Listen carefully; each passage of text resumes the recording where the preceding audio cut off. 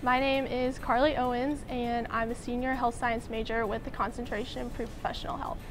This summer I was an intern at Fetter Healthcare Network in Charleston and I interned in the quality assurance department where I worked with the outreach team, case managers, health educators, and um, also my preceptor Anthony Poole, a PA. Through my internship I worked with the homeless population in Charleston and also seasonal and migrant agricultural farm workers in the Charleston area. We would set up off-site health clinics at the camps where they were at and that was really cool because I was able to help plan them and make sure everything ran smoothly and also use my nursing skills to interact with the patients, take the patient's vitals and that was a really great learning experience.